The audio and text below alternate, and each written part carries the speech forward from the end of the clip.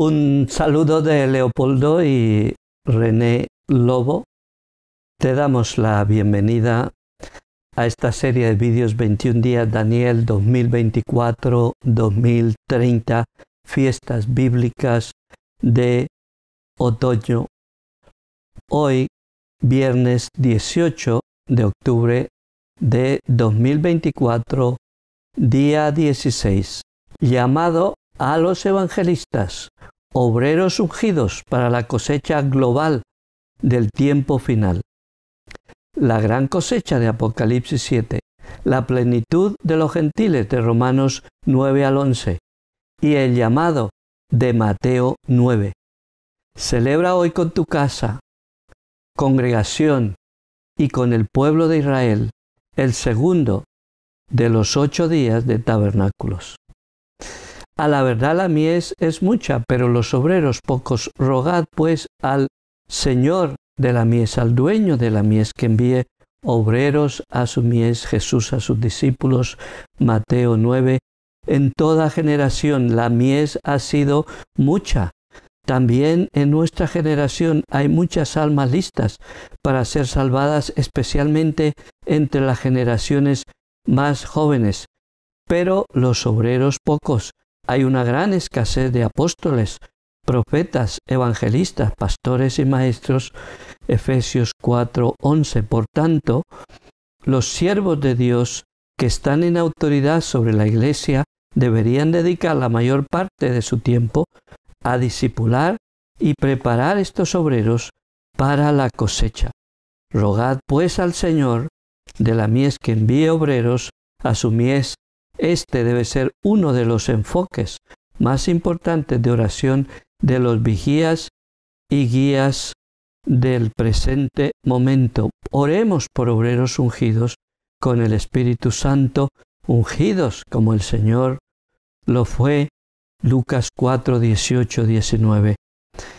¿Qué nos enseñan las escrituras sobre este importante tema de la cosecha? El Antiguo y el Nuevo Testamento se refieren a la cosecha, mies o siega en tres aspectos, la cosecha natural, la cosecha espiritual de almas salvadas y el mundo maduro en su maldad para ser cosechado, ser segado en juicio. La cosecha es la labranza recogida del campo, los frutos del campo es también el tiempo o temporada de la recolección de la cosecha y tiene que ver mucho con los obreros que la recogen.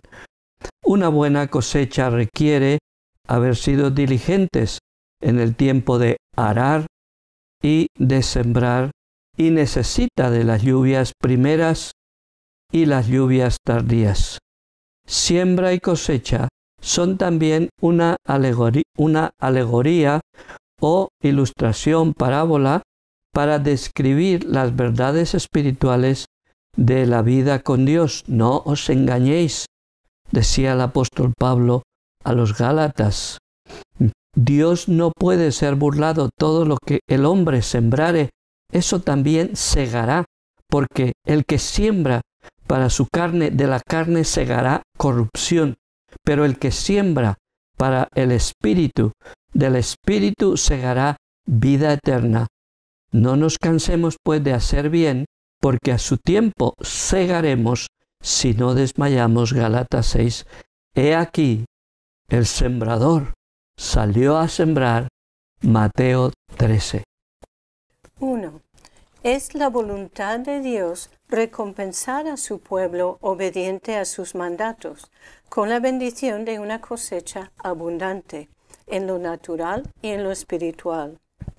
La tierra a la cual entras para tomarla es tierra que fluye leche y miel, no es como la tierra de Egipto, de donde habéis salido, donde sembrabas tu semilla y regabas con tu pie como huerto de hortaliza la tierra a la cual pasáis para tomarla es tierra de montes y de vegas, que bebe las aguas de la lluvia del cielo, tierra de la cual Yahvé tu Dios cuida. Siempre están sobre ella los ojos de Yahvé tu Dios, desde el principio del año hasta el fin. Si obedecieres cuidadosamente a mis mandamientos que yo os prescribo hoy, amando a Yahvé nuestro, vuestro Dios y sirviéndole con todo vuestro corazón y con toda vuestra alma, yo daré la lluvia de vuestra tierra a su tiempo, la temprana y la tardía, y recogerás tu grano, tu vino y tu aceite. Deuteronomio 8. 2. Después del ayuno y, y, el arrepentimiento, podemos esperar una maravillosa cosecha. El profeta Joel capítulo 2, después de su toque de trompeta anunciando el terrible juicio con plagas sobre la tierra y su solemne llamado al arrepentimiento con ayuno, hace esta gran promesa al pueblo. Y Yahvé, solícito por su tierra, perdonará a su pueblo.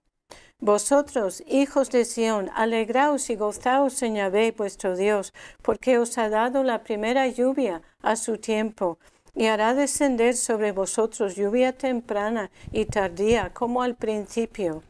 Las eras se llenarán de trigo, y los lagares rebosarán de vino y aceite.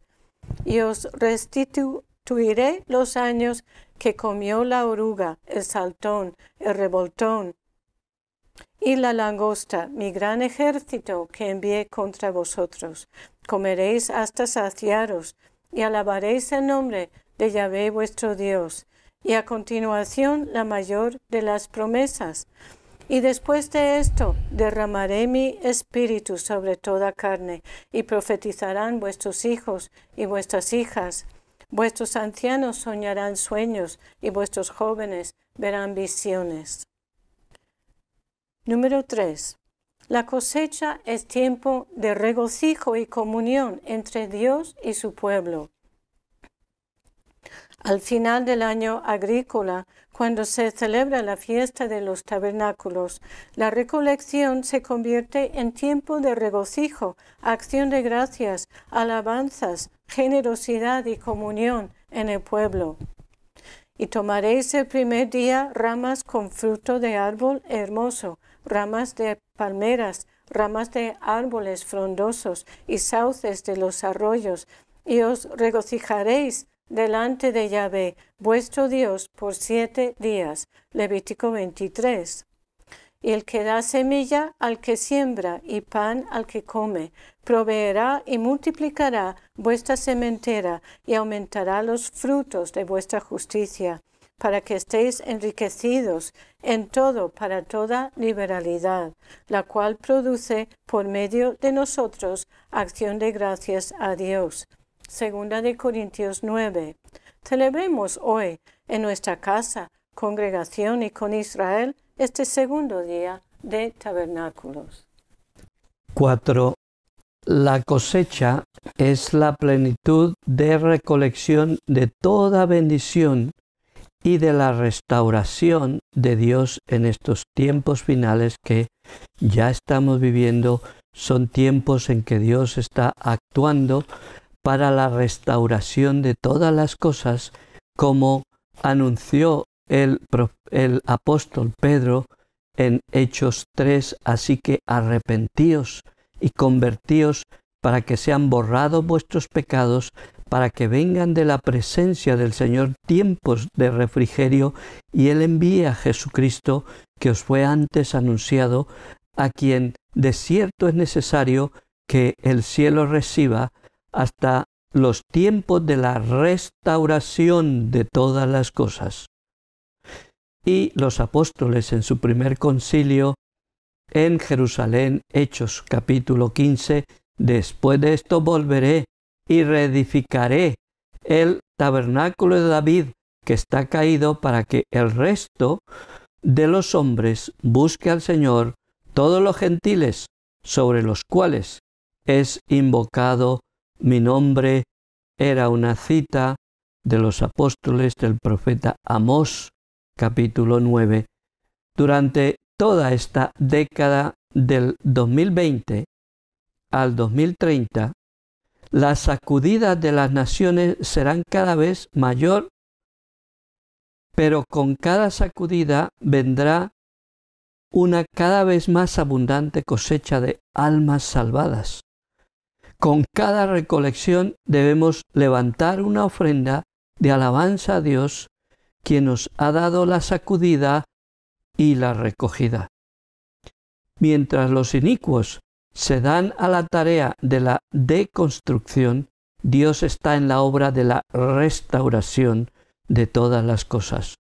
Los vigías e intercesores estamos velando porque no se desate una tercera guerra mundial que se cobraría miles y millones de vidas, sino que muchas de estas almas sean salvos y arrebatados de perecer en sus pecados. Amén. 5. En la recolección nos ayuda el Espíritu Santo, pero cuando venga el Consolador a quien yo os enviaré del Padre, el Espíritu de verdad, el cual procede del Padre, Él dará testimonio acerca de mí, dijo Jesús a sus discípulos, y vosotros daréis testimonio también, porque habéis estado conmigo desde el principio, San Juan 15. Nos ayudan los ángeles, vi volar por el medio del cielo a otro ángel que tenía el Evangelio eterno para predicarlo a los moradores de la tierra, a toda nación, tribu, lengua y pueblo, diciendo a gran voz, temed a Dios y dadle gloria, porque la hora de su juicio ha llegado, y adorad a aquel que hizo el cielo y la tierra, el mar y las fuentes de las aguas. Apocalipsis 14. Número 6. Y en Apocalipsis capítulo 7 nos, se nos presenta una visión de gran esperanza en cuanto a la cosecha, porque nos da la visión de que sí o sí habrá una gran cosecha en todas las naciones. Lo veamos con nuestros propios ojos o lo vean generaciones futuras, todas las generaciones oramos y trabajamos desde ya con esta visión delante de nosotros. Amén. Después de esto oí aquí una gran multitud, la cual nadie podía contar, de todas naciones y tribus y pueblos y lenguas que estaban delante del trono y en la presencia del Cordero vestidos de ropas blancas y con palmas en las manos y clamaban a gran voz diciendo la salvación pertenece a nuestro Dios que está sentado en el trono y al Cordero. Estos son los que han salido de la gran tribulación y han lavado sus ropas y las han emblanquecido en la sangre del Cordero. Número 7. Mateo 9, 35 a 38. La mies es mucha. Pedimos obreros ungidos para la cosecha. Recorría Jesús, cazados los pies con el apresto del Evangelio de la Paz, Efesios 6, todas las ciudades y aldeas, llamado a una movilización total para la evangelización, saturación hasta los lugares grandes y los pequeños más remotos, sin dejar allí a ninguno de ellos. Este es nuestro reto, enseñando en las sinagogas de ellos, en las sinagogas, las parroquias, las mezquitas, las capillas y locales, los salones de hoteles, las granjas ecológicas de los de la nueva era, y predicando el Evangelio del reino. Desde entonces comenzó, comenzó Jesús a predicar y a decir, arrepentíos, porque el reino de los cielos se ha acercado. Mateo 4 y sanando toda enfermedad y toda dolencia en el pueblo. Nuestra necesidad imperiosa de ser llenos del Espíritu Santo continuamente y activar el poder de Dios por nuestra fe, oración y ayuno para proclamar el Evangelio completo. El Espíritu del Señor está sobre mí, por cuanto me ha ungido para dar buenas nuevas a los pobres. Me ha enviado a sanar a los quebrantados de corazón, a pregonar, libertad a los cautivos y vista a los ciegos, a poner en libertad a los oprimidos, a predicar el año agradable del Señor. Lucas 4. y al ver las multitudes tuvo compasión de ellos, porque estaban desamparadas y dispersas como ovejas que no tienen pastor. Juan 10, Salmo 23, Ezequiel 34. Esta misma compasión del Señor por las multitudes nos debe mover a nosotros a orar por obreros ungidos para la mies y a disponernos nosotros mismos a hacer respuesta a esa oración. Amén. Entonces dijo a sus discípulos, a la verdad la mies es mucha.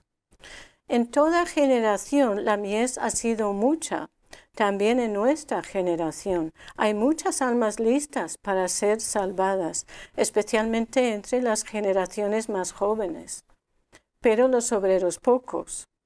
Hay una gran escasez de apóstoles, profetas, evangelistas, pastores y maestros. Efesios 4:11.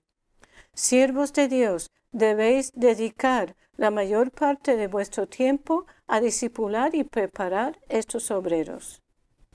Rogad pues al Señor de la mies que envíe obreros a su mies. Este debe ser uno de los enfoques más importantes de oración de los vigías y guías. Por esto oramos, Señor, dueño de la mies, que envíes obreros ungidos a recoger tu mies, equipos ministeriales formados por apóstoles, profetas, evangelistas, pastores y maestros Efesios 4:11. Familias completas que establezcan comunidades del reino en los lugares principales y también en los más remotos, hasta lo último de la tierra. Marcos 16, Mateo 28. Sigamos el ejemplo del apóstol Pablo, y de esta manera me esforcé a predicar el Evangelio, no donde Cristo ya hubiese sido nombrado, para no edificar sobre fundamento ajeno, sino como está escrito, aquellos a quienes nunca les fue anunciado acerca de él verán, y los que nunca han oído de él entenderán. Romanos 15. Número 8 y último de este tema de la cosecha. Ahora nos situamos en el Evangelio de San Juan 4, 35 al 38. ¿No decís vosotros aún faltan cuatro meses para que llegue la siega? Puntos suspensivos. Haz tú, querido hermano, pastor, el mismo ejercicio de examinar de cerca este pasaje de San Juan 4 como acabamos de hacer con el de Mateo 9. He aquí os digo, alzad vuestros ojos y mirad los campos, porque ya están blancos para la siega. El que siega recibe salario y recoge fruto para vida eterna, para que el que siembra goce juntamente con el que siega. Porque en esto es verdadero el dicho, uno es el que siembra y otro es el que siega. Yo os he enviado a segar lo que vosotros no labrasteis, otros labraron, se fatigaron, vosotros habéis entrado en sus labores. Y primera de Corintios 3, el apóstol Pablo, yo planté, Apolos regó, eh, pero el crecimiento lo ha dado Dios. Cada una de nuestras generaciones debe sentir esta urgencia de que los campos ya están listos para la siega y no esperar a tener circunstancias más favorables para sembrar y cosechar. Amén. Acompáñanos al decimoséptimo de los 21 días, Daniel, estamos en la recta final, es tu hogar un granero para recoger la cosecha ¿Con qué propósitos formamos los así llamados grupos de vida en casa?